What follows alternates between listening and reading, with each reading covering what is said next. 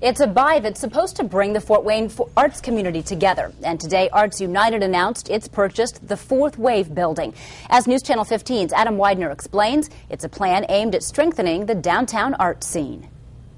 We think this is a very exciting day and hope that it's the beginning of many exciting days for the arts. The Fourth Wave building on East Main Street will now be playing a different tune. Today, officials with Arts United announced they recently bought the building. It currently houses six different organizations. A third of the space is unused.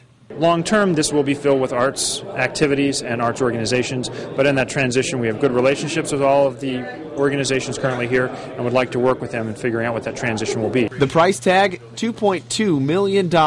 Initial unused space will be revamped for the Fort Wayne Ballet, which has outgrown its space on Penn Avenue. The Fourth Wave building here is right across the street from two other important buildings to the arts community here downtown the Fort Wayne Museum of Art and the Arts United Center. It's all a part of centralizing the arts community here downtown. Hopefully, that density will allow greater opportunity for small business development and more downtown development and regional development. Officials promise there's more to come, as this is just the first step in the arts campus development that art lovers in the area can look forward to.